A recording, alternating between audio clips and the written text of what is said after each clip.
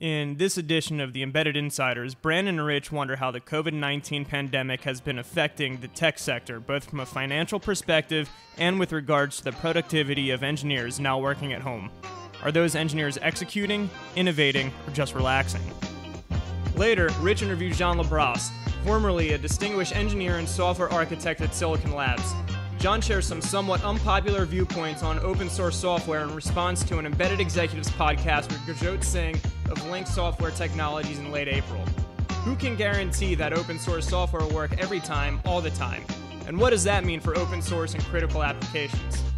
Finally, the insiders circle back to highlight the best in show winners from Embedded World 2020. Good afternoon, and welcome to the slightly delayed version of the Embedded Insiders. I'm Rich Nass, Executive Vice President with Open Systems Media, and you are? Uh, Brandon Lewis, or I guess he's back. I've been out for Where a you been?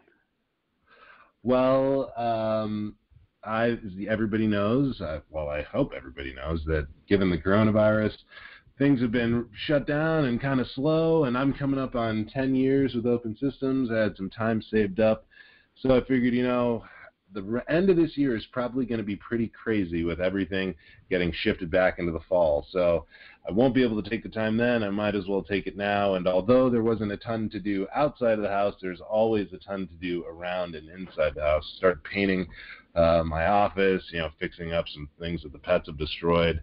So that's what I've been doing for the last couple of weeks. But it's good to be back. What have you been I doing? have it from I have it from a pretty good source that you just told a big lie. I was told that you tried out for the Phoenix Suns and did not make it, and that's why you're back to Open Systems Media. I'm on the practice squad, and they only practice on Saturdays. Very Right. good. Well, we go- for whatever we the reason, it's it's very nice to have you back. We missed you. before we go any further, I think I owe a mea culpa to everybody who listens to the Embedded Insiders. Because if you remember, Rich, right before Embedded World, I was like, oh, everybody, don't worry about this coronavirus thing. It's not a big deal. Everybody's going to be fine. Whoops. Maybe I should stick to embedded technology and stuff and instead of predicting. predicting Well, you're perfectly qualified to be president of the United States. right. So, um, you know, that's probably a good segue into a discussion regarding what the heck is going out there in our community um, in this weird time. Um, I have been spending a lot of time with some of the CEOs of in our industry and asking them how they're dealing with with the virus. And what I gathered is that I'm I'm getting like 90% of the truth, um, and a lot of it is exactly what you'd expect. Everybody's work not everybody. Many of the people are working from home. They're when they have to go in the office, they're scheduling their time um, because in a lot of instances there's certain equipment that has to be used. So they're making sure that um, only one person is there at a time and, and all that stuff. But I, I, I think it's hit some people a lot harder than than they're letting on, and and I get that that you don't want to you don't want to be public with the fact that your business is hurting, but it um, but I think a lot of business is actually hurting. But it's such a weird time. You look at the stock market, and tech is doing fine, but I, I, I think in reality it's not. Any anything that you're seeing? Well, I mean, my I've got some weird macroeconomic, you know, theories and frames of mind where, you know, the stock market is not uh, you know, it's not indicative of what's happening right now, obviously. You know, for for a tech company to really feel the the pain of this, uh it, it's not going to happen, you know, for you know, another few months, you know, six plus months, and then it's going to extend out for a long, long time. So a lot of, you know, the stock market's just based on projections and guesses and stuff. Um, but you know, you do start to see people panicking, especially if you're a publicly traded company, that uh oh, our cl- our customers are, you know, the the Boeing's of the world or the GMs of the world or you know whatever your the hot the hotels that you have as clients are all freezing things and uh, that uh, can make your uh, make you a little bit tense. Uh, but I imagine that you know things right now are probably going as normally as they can be given the fact that everybody's working from home and you know we do have a ton of capabilities you know these days that weren't available in the past like online collaboration tools and you know multi-tenant cloud platforms where people can still do their engineering um, a bigger question is are all of those engineers actually spending as much time getting you know project X done, or are they fiddling around doing their you know DIY projects, or like me, you know, trying to make their garage door opener smart, or, or what have you? Yeah, that's actually a really good point, and uh, and I don't think that that's a negative thing if if that is the case. You know, we've we've been covering these um, development boards for a long time, and and I and I think the employers actually really like when the employees are are doing the Raspberry Pis and the Arduinos and every other dev kit that's out there because that often leads to an innovation that goes back to the company. I wonder if there are going to be any uh, um, weird errors or vulnerabilities that pop up because everybody's dogs and kids were screwing around with them while they were writing that low-level C code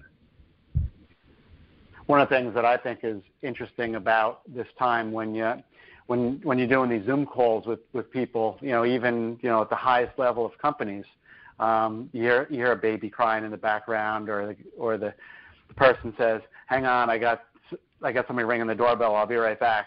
You know, and you you you you really learn that in a lot of cases, not in a lot of cases, in all cases, people are people and uh, and and have to deal with the things that uh, everybody has to deal with. Who would have thought people are people? We've been saying for a very long time here at OSM that engineers are people too, and it's something that we always try to take into consideration when we're doing stuff. Well, speaking okay. of distractions, Rich, uh, my wife just brought me a smoothie, so I guess that means it's breakfast time. I gotta go. We're now joined by Jean Labrosse, architect of Micro COS operating system, founder of Micrium, and former distinguished engineer and software architect at Silicon Labs. So what initiated this was um, we were chatting about a, uh, a podcast I did a few weeks ago with Gurjot Singh, the CEO of Lynx Software, and the topic there was open source. And um, you had some interesting comments with respect to that. Repeat back what you said to me earlier. Okay, so basically, uh, you know, I, I, I, agree. I mean, there's there's certainly some benefits with open source. Uh, with, with, with respect to Lynx Software is kind of a he supports or they support uh, open source software, but it's all encompassed or all encapsulated in, inside of a framework where if something goes wrong with the open source software, then the framework, the environment actually catches that and, and terminates the the offending software. So uh, that that's fine, except if it's if it's medical equipment and you're you're you're killing the application that actually is uh, performing the, the, the bad code, and I'm not sure that that's necessarily a good thing either. So as much as you could support open source with an, a framework framework like that, it's still a problem when it comes to running certain types of applications because if it crashes, you could still have some nasty thing. Now, if, if as it crashes, the software actually takes care of putting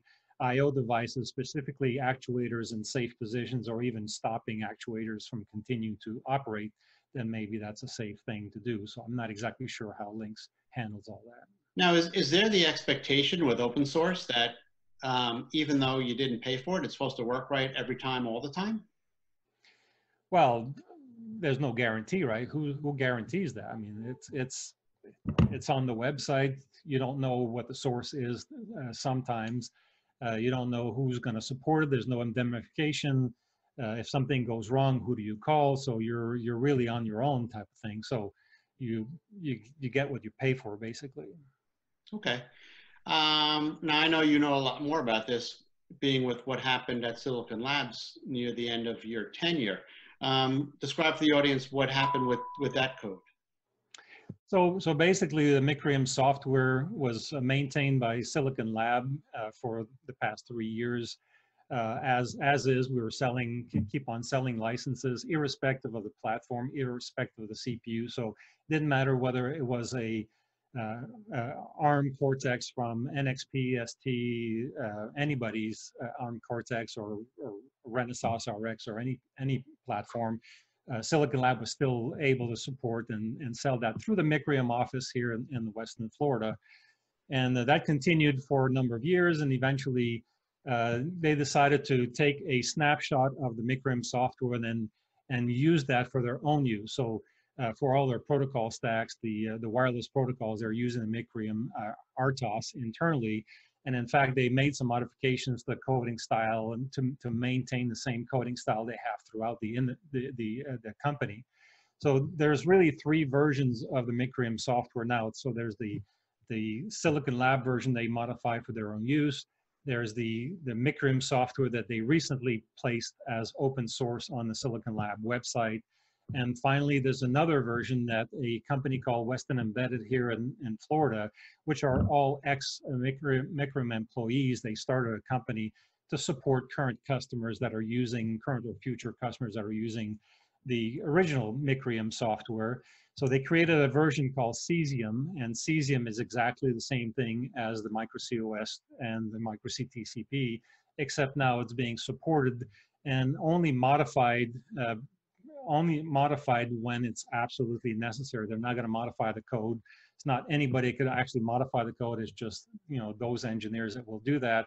And case in point, in the case of the RTOS itself, uh, they will contact me and then they will ask me if, if I'm okay to make certain changes to the RTOS. But throughout this whole thing, uh, they're maintaining the the code base. They're maintaining the coding style that that we've been very much uh, uh famous for as well as documentation. So documentation will also be maintained by uh, by the, these guys. What about as new devices become available? Will will support be added for that? Absolutely. So as new devices are introduced, if cus customers would like to have ports on these new devices, of course, they will support those new devices as as necessary. Now you mentioned the documentation. We all know documentation is not important, right? Of course not. Yeah, now the big trend nowadays is all an API is all you need, and I believe me, I, I just don't believe in that whole concept. You don't get to see the whole picture when you're just seeing uh, an API set. I, I like to have, as you probably know from my books, I, I like to have a lot of illustrations explaining concepts. And with the APIs, you don't get the whole picture, and that's what I think documentation and illustrations are really good at, at doing. Uh, and very often a, a, lot of open source is not explained. Here's the source code, you're on your own, you got to figure it out. There's limited documentation. A lot of it is in the open source itself. I personally like to have a separate document that describes how everything works so people could take that over and, and understand the limitations and all that. Why are you in the minority there? Uh, good question. I don't know. I don't know. Why do you think I'm in the minority? Well, I hate to say people are lazy, but uh, you know, we we used to use the excuse that it was it was good job security to not document any of your code. Um, but is yeah. that fallacy? Well, I mean, I, I think it's a shame that that's if that's the case. I, I think it's a shame that that's the mentality still. I don't think that's what it is. I think everybody's pressed to hurry up and get their products out the door as quickly as possible, and um, you know you have to cut corners at some point. Uh, I mean, I, I, think that's a big problem with the open sources. Unfortunately, there's nobody to identify you on the on the code. There's nobody to support you necessarily. You got to go through third parties. Uh, all the different sources of open source, uh, the coding style is all different. So you got to put all that together. You could get name clash uh, for uh, for for namespace. Uh, I mean, there's there's tons of issues. So I, to me, I'm I'm very surprised. I've never really been a big proponent of open source for all these all these reasons. Next, the insiders recap the Best in Show award winners from Embedded World 2020.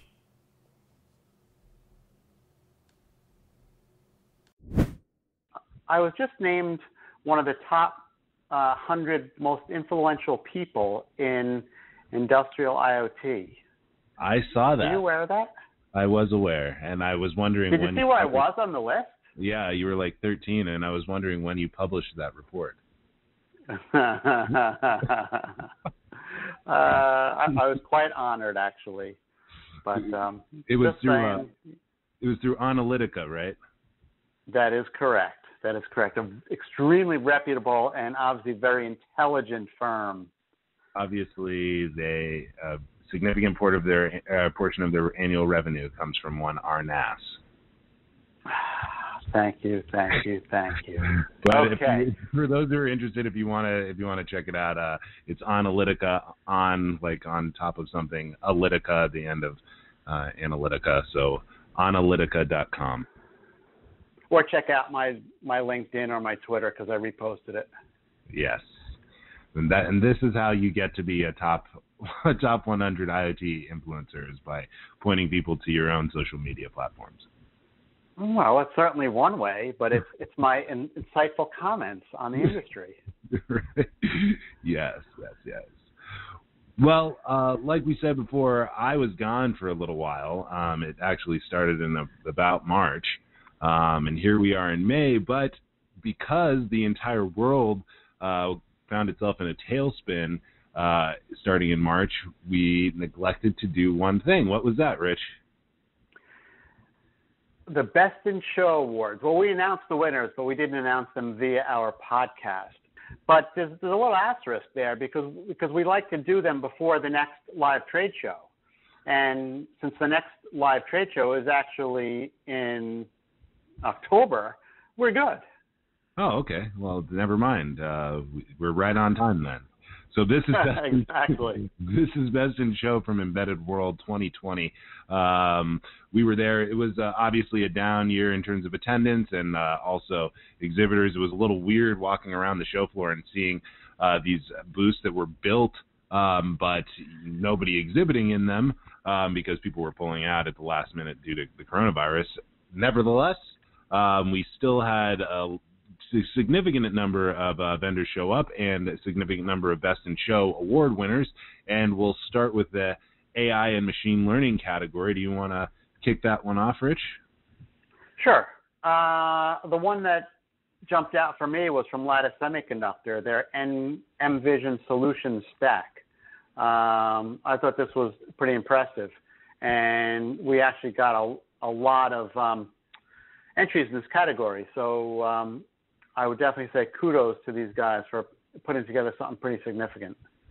Yeah, and uh, another little note on that: uh, they keep uh, they keep advancing that mVision solution stack, and it's really effective if you're uh, somebody who's working on AI edge applications, so really low power uh, sort of inferencing type of systems. Um, a, the mVision stack is a really good platform to build on if you are also familiar with FPGA technology. Uh, yep. The next, and who were the other winners in in that same category? Uh, also, uh, we had Atina Corporation and then uh, Adlink Technology, uh, who had the Vizi-AI board. You might want to check them both of those companies out on their websites. Okay. Uh, next category is analog and power, and mm-hmm. we so, we selected from Maxim Integrated Products the Max 40026 high speed comparator. Um, basically, it, it was the um, the specs that made a, a difference here, and it's pretty easy to compare products like this. You pick the one with the best specs, and this one did. Then you move into our bread and butter, and you and you get into computer boards, systems, components, and, and peripherals. And this one uh, had far and away the most entries. We won't, we don't have time to go through all the details of each of them, but there was the Technologic Systems TS7100 that I was quite impressed with. It's like a self-contained box that has everything that you need to to design your system. Yep, and this uh, Technologic Systems little SBC slash box, as you pointed out, is based on um, an NXP i.MX 6 uh, so if you are familiar with the NXP brand of processors, there's a lot of performance in here for doing things like driving HMIs. Um, obviously, this is an industrial-oriented type solution, uh, but you can check that out on embeddedarm.com. That's the TS7100. Um, other winners in the category included Tanbus, uh, Tanbus Touch, um, Crystal Group, uh, Rugged Embedded Computer, the RE1218M um, a user configurable Xilinx Zynq UltraScale Plus based I/O module from Acromag, which was one of my favorites, an ITX PC444 from Win Systems, nice little SBC I/O board there, and then the Grizzly embedded server from VersaLogic, Micromax's MMax HR1UDT uh, system, and then an honorable mention in this category is the Thunder CX GX38B5550 from TYAN Computer Corporation rounds out uh, the list. Nice to see that Some of these guys are actually coming up with names that are not just XB6642. You know. Uh, yes, let's let's uh, try and continue that human language uh, names for. for exactly. Development tools and operating systems is the storyboard from Crank Software. Yeah, so Crank, um, Crank Software actually, I had a chance to meet with them at the show. They were there. Um, they've got a really nice uh, UI development platform. So uh, think of Qt. It's just uh, more really focused on some of these highly embedded applications. You should really check them out.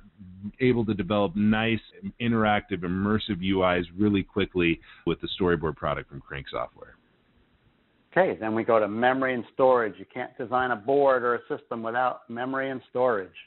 InnoDisk had an SSD, which was pretty innovative in my influential opinion. yes, InnoDisk was one of the members or one of the winners in the uh, memory and storage category, along with Kioxia Europe for their XFM Express. One that stood out to me was uh, the Semper NOR flash memory from Cypress Semiconductor. Cypress, obviously, a big player in that market. This NOR flash is really um, intended for use in uh, more critical types of applications like automotive and industrial. So if you are looking for something that meets safety certification requirements, you know, in automotive maybe ASIL D, this would be a good place to start with Semper NOR flash memory from Cypress. Now we move on to security, which is a topic that we talk about a lot here. One of the winners was UltraSoC with their UltraSoC Bus Sentinel.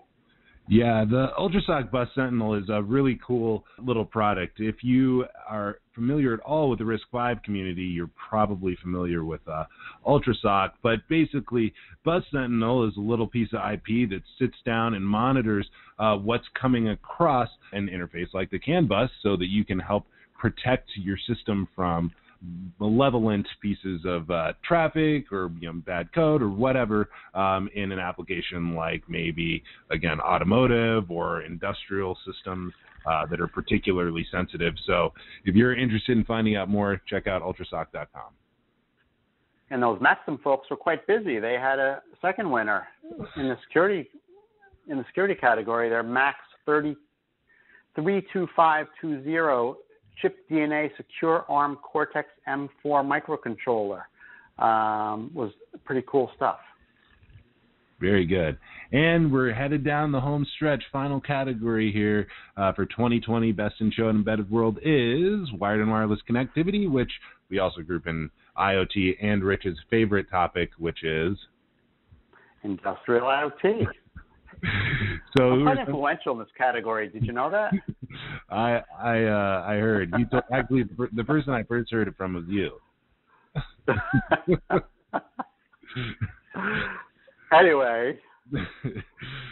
so um, a couple of the winners in this category were a Dialog Semiconductor with their SmartBond Tiny DA14531, Silicon Labs SiLabs with the EFR32BG22 Bluetooth SoCs, Nordic Semiconductor with their NRF 52833 Bluetooth 5.1 SoC, which supports Bluetooth Low Energy, Bluetooth Mesh, Thread, Thread, and Zigbee. So if you're looking to hedge your bets on those short-range connectivity protocols, that's a good one to take a look at.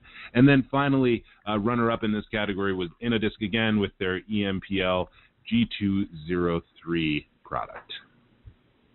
Here's a pretty controversial topic for you, one that we probably shouldn't address. Nordic Semiconductor, why haven't they been acquired? That's actually a really good question, and I've I've thought about this in the past, and it may be just because they have such a big market share that I would I would imagine that the asking price is probably pretty high. Uh, what do you think?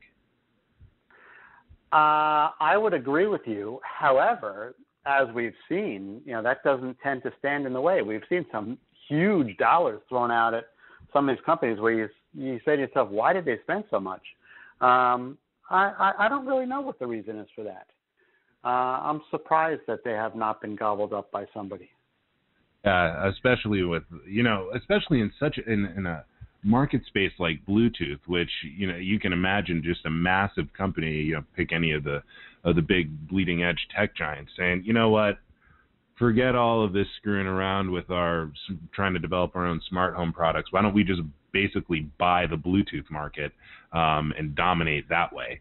Um, so yeah, that is pretty interesting. It, it, might be cool to have somebody on from Nord- Nordic. I don't know if they're going to tell us why they why they haven't been acquired yet or what the asking price is, but you know, have them on and and give us their thoughts on the Bluetooth uh, sector and how that's trending. What do you say?